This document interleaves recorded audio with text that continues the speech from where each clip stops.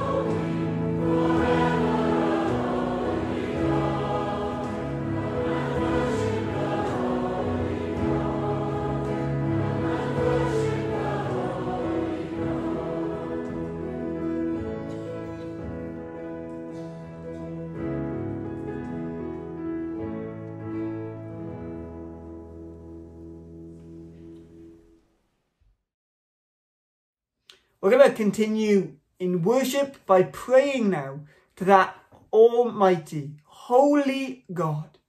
Should we pray? Father, we thank you that your kingdom is forever. We thank you that your truths are forever. We thank you that you will never pass away.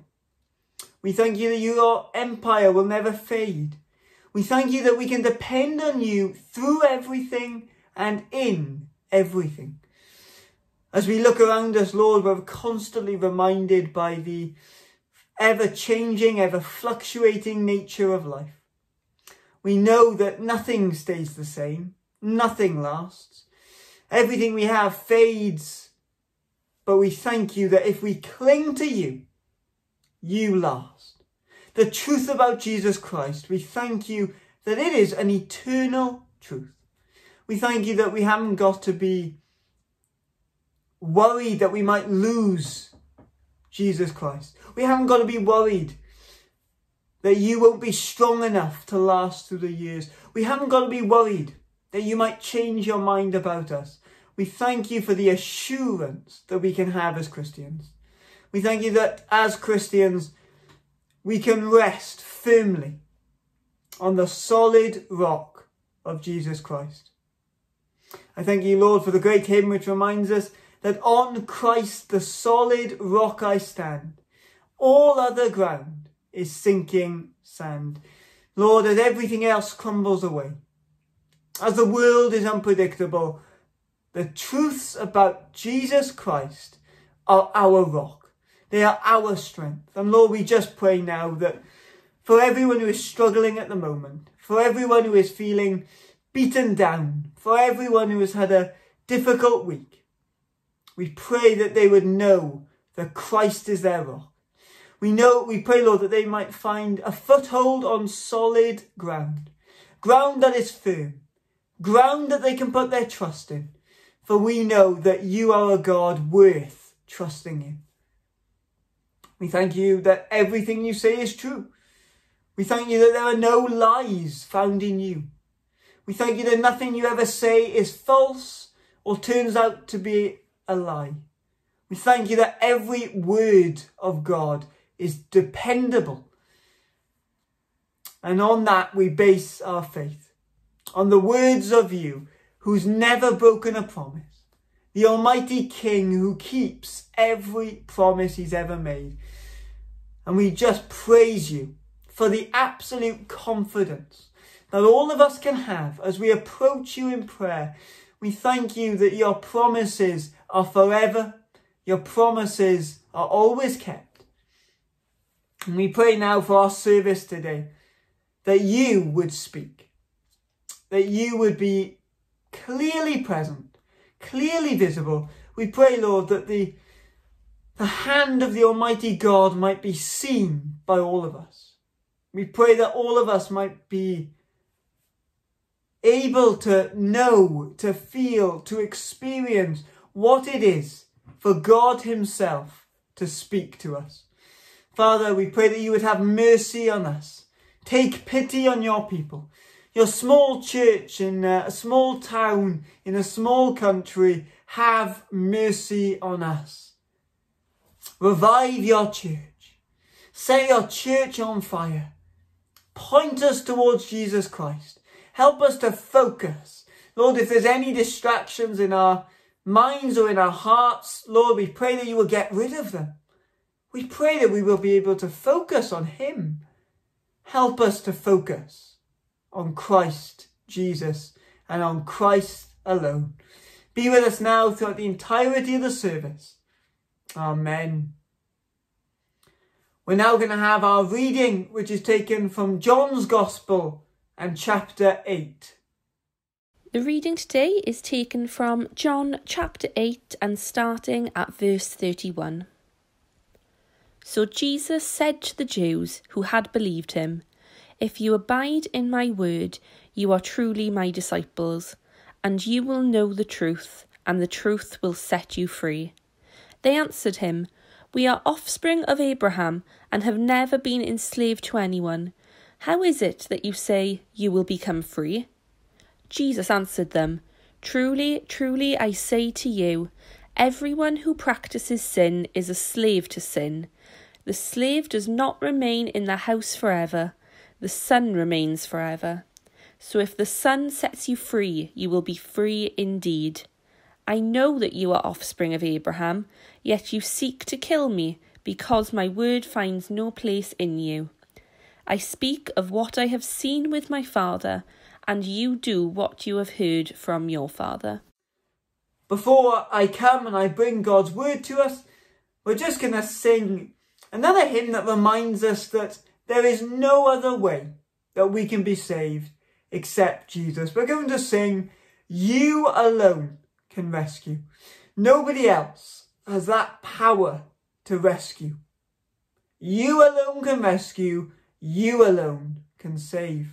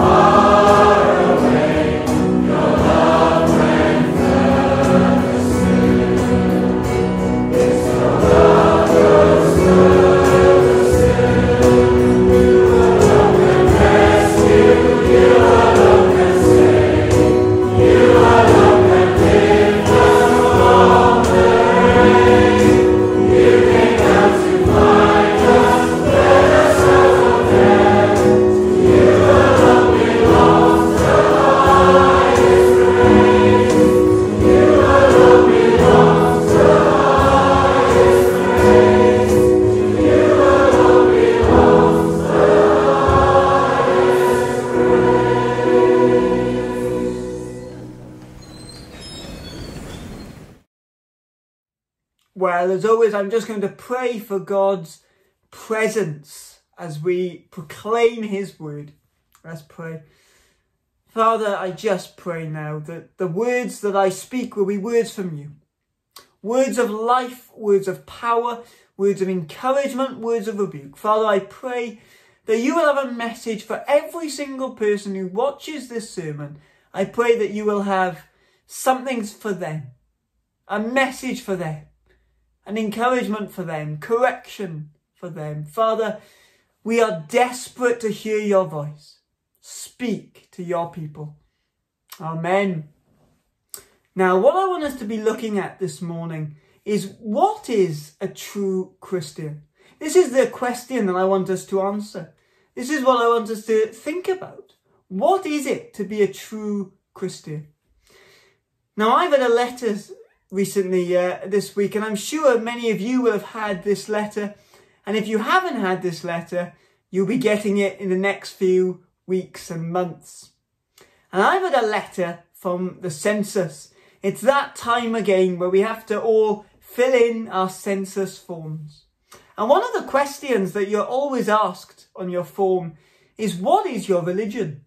What is your religious belief? And what we see so often is people always write that I am a Christian. And so many people say that they are Christians on the census form. And many people will say, oh, I'm a Christian, without really thinking about it. Many people will say they're a Christian because they were baptized as a baby. Many people will say they're a Christian because their family has been Christian. Many people say they are Christian because once in a while they go to church at Christmas and Easter. Some people will say, well, I, I've read the Bible in the past, and so I, I must be a Christian. This is a, a crucial issue. There is no question that is more important than being able to answer this. Are you a Christian? And so at a time when so many people are going to be talking about how they are Christians, they're going to be writing it down and telling the government that they're Christians. I wonder, are you truly a Christian? Do you know what it means to be a follower of Jesus? J.C. Ryle, a great theologian, he once said, I'm paraphrasing slightly, but he once said that the most dangerous position to be in is to be inclined to Jesus, to be halfway to Jesus but not having embraced him. And so the most important question for all of us comes down to, do we truly know what a Christian is? And do we truly know that I am a Christian? That's the question I want you all to be thinking about this morning. And so we're going to be looking at John chapter 8. And my first point from John 8 and verse 31 my first point is about how everybody watching this video, everybody who is watching this video can be set free. And so my first point is to be set free. And we begin this narrative in verse 31. So Jesus said to the Jews who believed in him. Now what we have here is we have a reminder that when Jesus came, he was teaching primarily to the Jewish people. And we have this reminder in Romans 1. Romans 1 says, For I'm not ashamed of the gospel, for it is the power of God for salvation to everyone who believes, to the Jew first, and also to the Greek. And this is the great news about Jesus. It is for everyone. Everyone who is watching this video, you can know what it is to be set free. the, to the Jew first and also to the Greek. The gospel is for everybody who believes.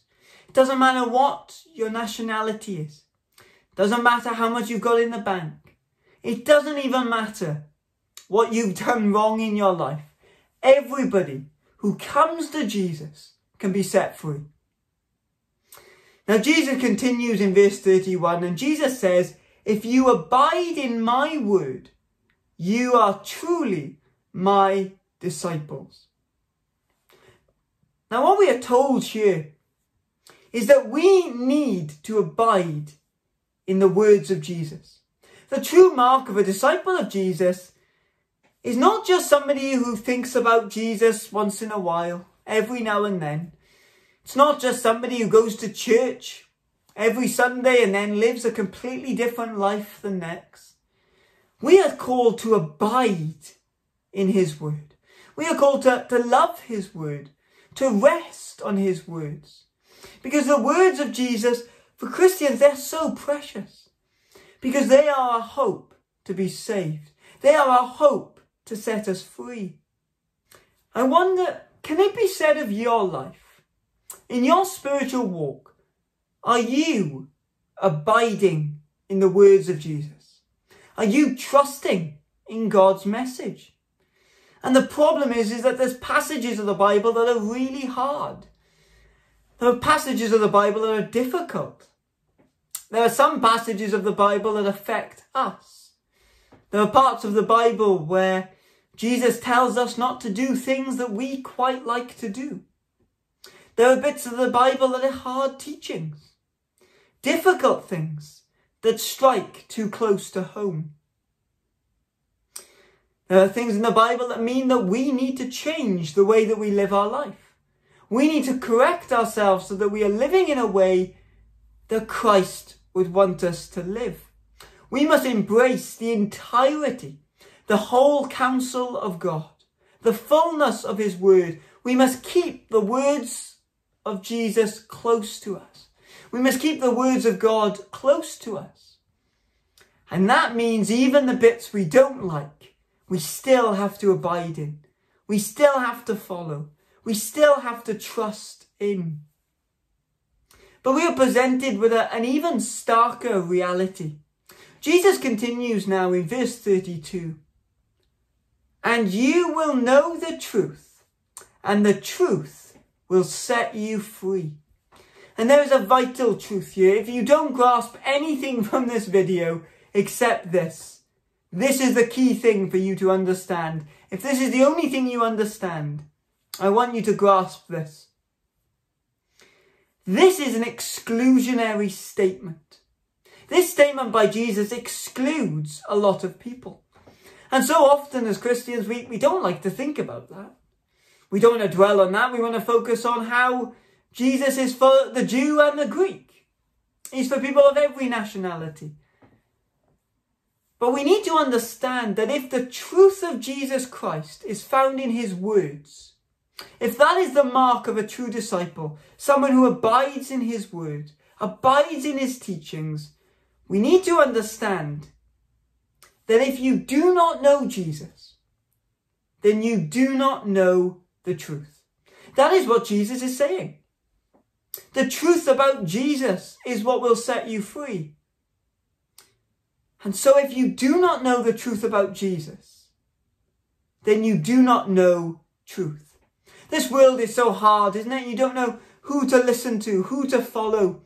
And it, coming up in May, there's an election. And so often people never know which politician to trust. Which politician is going to do what they say they're going to do. It's so hard, isn't it, to find someone who is telling the truth. The truth of Jesus Christ needs to be embraced.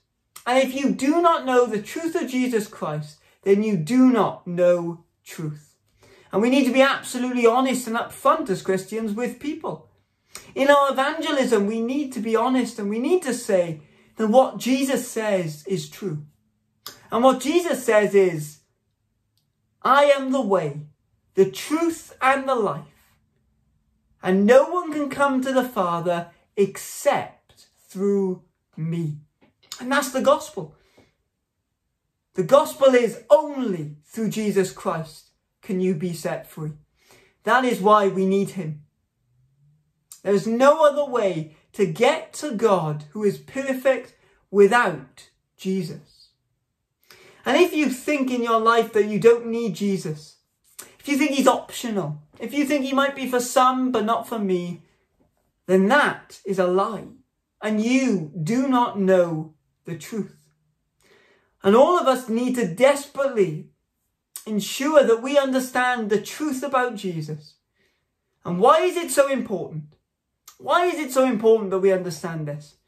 Because it is only the truth of Jesus that can set you free. Nothing else offers you freedom. Nothing else has the power to set you free. You are a captive. You are a slave. You don't have freedom. You're not living the way that God created you to live. And it is only by embracing Jesus Christ that you can have true freedom in your life. This is the reality that we proclaim as Christians. And so many of us might know what that's like. Many of us might feel trapped. Some of us might feel trapped in our jobs. I think we all feel a little bit trapped in our houses, don't we? Sure, maybe we're trapped in our emotions. Maybe feel we feel like we're in an emotional rut. Maybe we just feel like we're trapped doing the same mundane things again and again. And we need to understand that freedom cannot be achieved by you. You cannot find freedom in, in yourself. You cannot find freedom in yourself. The only single way to be free is to believe upon Jesus. My second point continues on this theme, this freedom. As we're going to look at my second point, the slave freed. Now, in the narrative, the people who are listening to Jesus, they're utterly confused. And in verse 33, they answered him, We are offspring of Abraham, and we have never been enslaved to anyone. How is it that you say you will become free? What they're basically saying in this passage is, how can I be set free? I'm already free. There's nothing I need freedom for. I'm fine the way I am. And this is something crucial for evangelism. Before people embrace Jesus, they first need to understand that they are locked in captivity. Before people accept that they need to be saved by Jesus, they have to accept that they need saving. And this question is being asked by the people is, what do we need freedom for? Well, what are we currently trapped in? What are we stuck in? What occupies our lives? And in verse 34, we see Jesus' answer. This is what Jesus says everyone is trapped in. And Jesus answered them saying, truly, truly.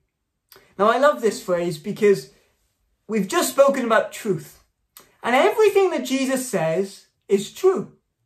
Nothing that Jesus has ever said is a lie. Everything Jesus has ever said, every promise he has ever made is true. You can depend on him, for he does not lie. So when Jesus says truly, truly, this must mean something that we have to listen to. It reminds me a little bit when I was at school. When I was at school, I'd be daydreaming, I'd be looking up at the ceiling, I wouldn't be concentrating. I might even be doodling if I was sitting quite far at the back. And then all of a sudden the teacher would say one phrase and everyone in the class would look up and pay attention. And the teacher would simply say, this is going to be on the exam. And everyone in the classroom would look up and suddenly start writing down and paying attention. Everything else the teacher was saying was vitally important, but this was more important. I think it's the same for Jesus. What Jesus is saying here is everything I've said has been true, but truly, truly. Other translations have verily, verily. This you need to, you need to wake up and pay attention to. You listening to the sermon, you need to pay attention to the next words that Jesus says. Verse 34. I say to you, everyone who practices sin is a slave to sin. Now, some of us might be sitting there thinking, well, well, I don't practice sin. I'm a master at it. I'm an expert at sin. Because we know this so well. I mean, let's be honest with one another. Let's be fairly open in this video. I know that greed is wrong. I know that gluttony is wrong.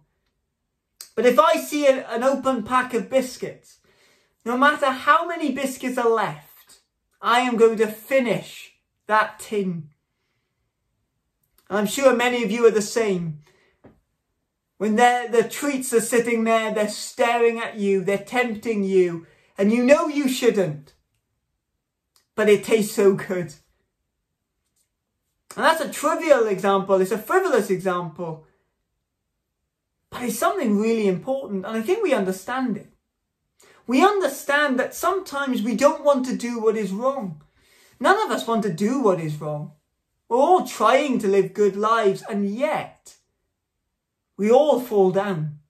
We all, short, we all fall short. We all fail. It's interesting when uh, people sometimes break their uh, their marriage vows, when people have affairs, some of the phrases people often say and they often use are things like, it was an accident. I didn't mean to. I couldn't ha- I couldn't help it. It just happened. These are some of the phrases, some of the excuses that people use for, for such a, a terrible thing that they do. And we understand that on some level, we are entrapped and enslaved by sin. Now, you might not have committed adultery, but we've all done something wrong. We all know that lying is wrong. And yet we do it because it's easier for us. We've all done things wrong. And what the Bible says is that if you practice sin, if you've ever done something wrong, then you are a slave to it. The reason why you do things wrong is because you can't stop doing things wrong. Have you ever tried to, to just stop doing everything wrong? Have you ever said, right, from now on, I'm going to do everything right? And I wonder how long it took you to fail. Probably about 10 minutes if you're anything like me. We have to accept that we are enslaved to sin. We can't get out of it. We can't get around it. However small, however big, we are enslaved to the things that we've done wrong. But this is a, a really important point, and I want to stress this. You might be a slave to sin, but you are still accountable for your sin. Nobody is going to be able to argue. At the judgment seat of Jesus Christ, nobody is going to be able to say, I couldn't help it. It was an accident. I didn't mean to. We are slaves to sin, but we are accountable for the wrong that we do in our lives. We are accountable for our actions. And that is why only Jesus can set us free. Because somebody has to pay the penalty. Somebody has to pay what we owe. In order for us to be forgiven, in order for us to be set free, somebody has to pay that penalty. And if we trust in Jesus, then we are slaves who have been set free. We who once could not get away from the wrong things that we could do. We who could not escape the eternal punishment that was due to us, we have been set free.